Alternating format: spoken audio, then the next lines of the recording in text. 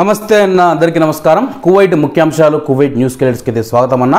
జనవరి మూడవ తేదీ నుంచి ఇరవై ఏడు వరకు మొత్తం ఏడు వేల తొమ్మిది వందల డెబ్బై మంది అయితే డ్రైవింగ్ టెస్ట్ పరీక్షకు హాజరయ్యారని చెప్పి అందులో ఐదు వేల నూట ముప్పై ఏడు మంది ఉత్తీర్ణులయ్యారని చెప్పి అధికారులు అయితే తెలియజేయడం జరిగింది. జిలీ బాల్లో ministry of interior public authority for manpower అధికారులు నిర్వహించిన తనిఖీలలో కార్మిక చట్టాన్ని ఉల్లంఘించిన ముప్పై మందికి పైగా ప్రవాసులను అరెస్ట్ చేసినట్లయితే అధికారులు తెలపడం జరిగింది. కువైట్ నుంచి ఇతర దేశాలకు వెళ్ళేటప్పుడు విమానం బయలుదేరే గంట ముందు బ్యాగేజీ చెక్ ఇన్ కౌంటర్లు మూసివేయబడతాయని చెప్పి director general of civil aviation అయితే ప్రకటించడం జరిగింది. కాబట్టి కువైట్ నుంచి ఇండియాకు వెళ్ళేవారు ఎయిర్పోర్టుకు మూడు గంటల ముందు చేరుకోవడానికి అయితే ప్రయత్నం చేయండి. ఒకవేళ మీరు విమానం బయలుదేరే గంట ముందుగానే మీరు వస్తే ప్రయాణికులను అనుమతించబోమని చెప్పి అధికారులు వెల్లడించడం జరిగింది. మార్చి ఒకటవ తేదీ నుంచి కరోనా ఫ్రంట్ లైన్ వర్కర్లకు బియ్యం చక్కెర పప్పు పాలపొడి నూనె టమోటా పేస్టు చికెన్ వంటి ఆహార పదార్థాల పంపిణీ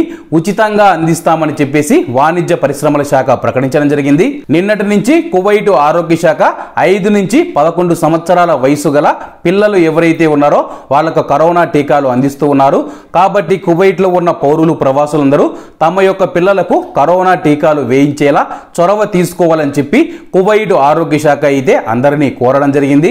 కువైటు ఆరోగ్య శాఖలోని డ్రగ్ విభాగం అయితే రెండు వేల ఇరవై ఒకటిలో ప్రైవేటు ఫార్మసీలు మెడికల్ సెంటర్లు ఫుడ్ సప్లిమెంటరీ షాపులు వెటర్నీ మందుల షాపులలో అయితే తనిఖీలు నిర్వహించడం జరిగింది. అలాగే ఈ యొక్క తనిఖీలలో భాగంగా రిజిస్టర్ చేయని మందులు కాస్మెటిక్స్ అలాగే ఏవైతే టైం అయిపోయిన మందులు ఏవైతే ఉన్నాయో అవన్నీ స్వాధీనం చేసుకొని పదహారు వందల నలభై ఆరు ఉల్లంఘనలు నమోదు చేసినట్లయితే అధికారులు వెల్లడించడం జరిగింది. కువైట్లో లాక్డౌన్ చర్యలను రద్దు చేయాలని చెప్పి ఆరోగ్య పరిమితులను తగ్గించాలని చెప్పి అలాగే కువైట్లో ఎనభై శాతం మంది వ్యాక్సినేషన్ వేసుకున్నారు కాబట్టి ఆరోగ్య జాగ్రత్తలు ఆరోగ్య ఆంక్షలు తగ్గించాలని చెప్పేసి కువైట్ ఎంపీలైతే పార్లమెంటులో కువైట్ ప్రభుత్వాన్ని కోరడం జరిగింది. గడిచిన ఇరవై నాలుగు గంటల్లో కువైట్ దేశవ్యాప్తంగా ఐదు వేల నాలుగు వందల ఏడు కొత్త కరోనా కేసులు నమోదైతే రెండు మరణాలు నమోదు కావడం జరిగింది. ఐదు వేల ఎనిమిది వందల నలభై ఆరు మంది భారీ సంఖ్యలో సంపూర్ణ ఆరోగ్యంతో కోలుకోవడం జరిగింది. కువైట్ దేశవ్యాప్తంగా యాభై నాలుగు వేల ఆరు వందల పదిహేడు మంది యాక్టివ్ కేసులు ఉన్నట్లయితే కువైట్ ఆరోగ్య శాఖ ప్రకటించడం జరిగింది. అలాగే ఈరోజు కువైట్లో ఉన్న దినార్ రేటు విలువ గురించి తెలుసుకుంటే ఒక దినారు రెండు వందల నలభై నాలుగు రూపాయల ముప్పై ఎనిమిది పైసలుగా ఉంది.